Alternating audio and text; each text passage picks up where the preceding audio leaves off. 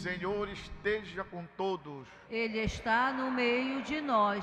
Proclamação do Evangelho de Jesus Cristo segundo Mateus. Glória a vós, Senhor. Naquele tempo, enquanto Jesus estava falando às multidões, sua mãe e seus irmãos ficaram do lado de fora, procurando falar com ele. Alguém disse a Jesus: Olha, tua mãe e teus irmãos estão aí fora e querem falar contigo. Jesus perguntou àquele que tinha falado: Quem é minha mãe e quem são meus irmãos?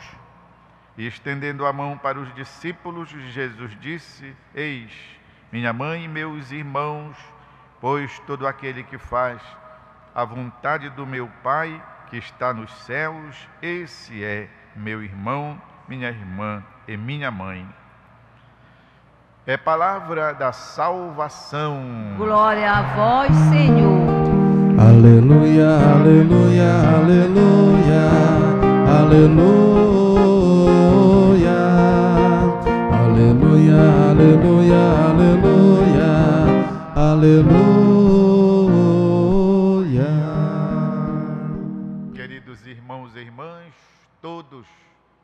Os que estão aqui no santuário e que hoje se fizeram peregrinos da Virgem Mãe de Nazaré, irmãos e irmãs que acompanham a nossa transmissão pela Rede Vida, irmãos e irmãs do apostolado da oração, irmãs e irmãs, sócios da Associação dos Devotos da Adenasa, que alegria podermos estar repetindo o cenáculo de Jerusalém.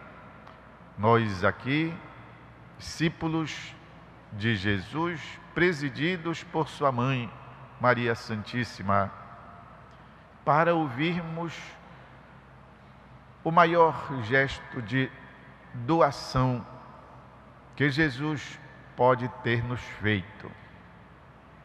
Se fosse um de nós, puramente baseado em laços humanos, sangue, se alguém viesse dizer: Olha, tua mãe, teus irmãos estão aí fora querendo falar com você, nós diríamos: É mesmo, né? Traz eles aqui. Jesus não fez isso. Jesus não foi pequeno. Jesus não foi materialista, simplesmente apegado aos laços de sangue.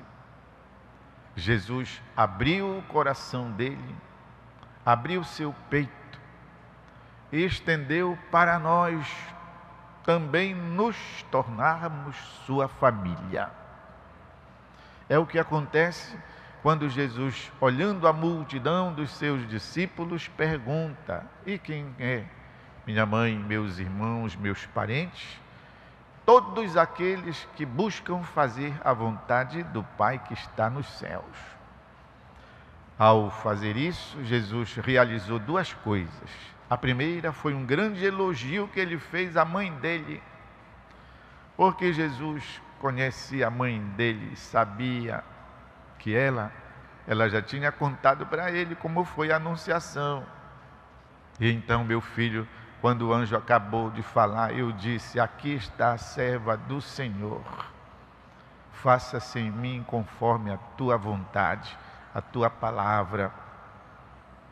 Portanto, Jesus sabia que antes dele, porque ele nasceu depois, conforme a, a carne, antes dele, a mãe já era serva do Senhor buscava fazer a vontade de Pai que está nos céus. Por isso, ao dizer todos os que buscam fazer, é minha mãe, meus irmãos, Jesus está dizendo que a mãe dele está na cabeça da fila de todos aqueles que buscam viver conforme Deus, viver a sua palavra. Então Jesus fez este elogio maravilhoso a resposta que Jesus dá não é uma resposta que corta qualquer possibilidade de reconhecer sua mãe. Vocês sabem, meus irmãos e irmãs, que tem nossos irmãos das seitas, que tem quizilha, Nossa Senhora que eles usam esse trecho aqui para dizer: está vendo como até Jesus era contra a mãe dele? Isso é uma blasfêmia, isso é um erro. No mínimo, isso é uma grande ignorância, não conhecer a Escritura, não saber interpretá-la. Portanto, Jesus elogiou a mãe dele em primeiro lugar, porque ele sabia que ela era campeã de fazer perfeitamente a vontade do Pai.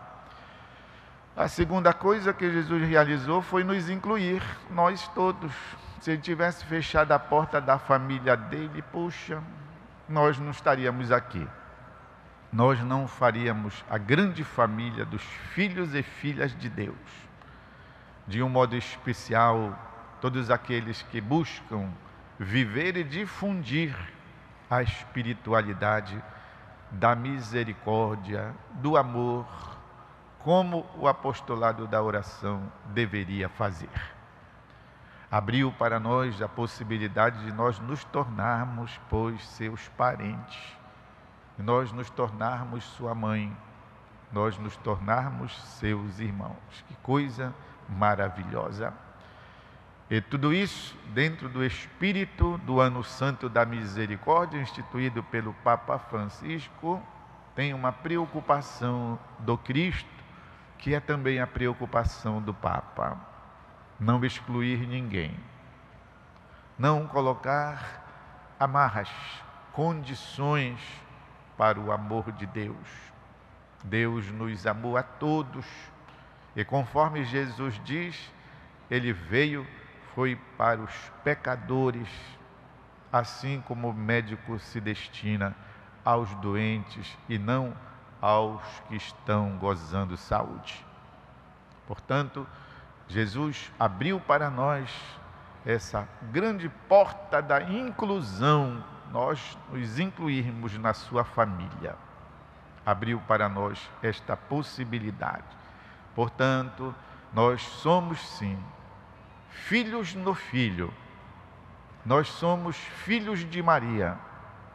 Nós somos filhos do nosso Pai que está no céu. E, como dizia lá um adesivo, se ter pai é bom, imagina ter pai e mãe é maravilhoso, estava escrito neste adesivo que eu li, ia atrás de um carro. Se ter pai é bom, ter pai e mãe é então maravilhoso. E nós no céu temos pai e temos mãe. E esta mãe maravilhosa se mostrou para nós nesta pequenina imagem da Virgem de Nazaré que apareceu aqui no ano de 1700 e até hoje faz a festa, alegra os nossos corações, reúne mais de dois milhões de peregrinos na sua grandiosa festa, como nós estamos tendo a graça de participar. Queridos irmãos e irmãs, abramos nosso coração para acolher as bênçãos maravilhosas que Jesus tem para nós e que Ele passa pelas mãos de Maria para ser entregue para nós, pois o seu amor.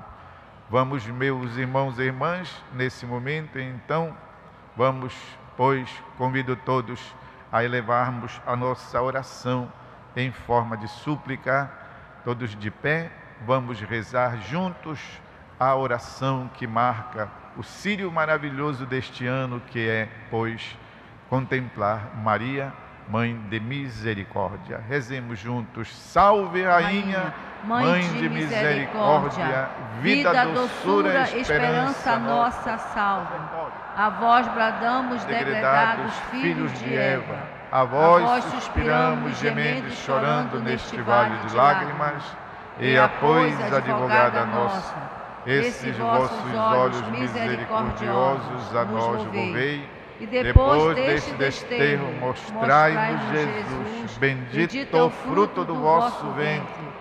Ó clemente, ó piedosa, ó doce sempre Virgem Maria, rogai por nós, Santa Mãe de Deus, para que sejamos dignos das promessas de Cristo. Amém. Meus irmãos e irmãs, o santo ofertório É uma maneira de dizer muito obrigado, Mãe do céu, por tantas bênçãos e graças que recebemos, que estamos para receber, que temos recebido. Participemos, pois, do santo ofertório com este espírito de gratidão. Coloquemos nossa oferta, oferecendo-a como agradecimento.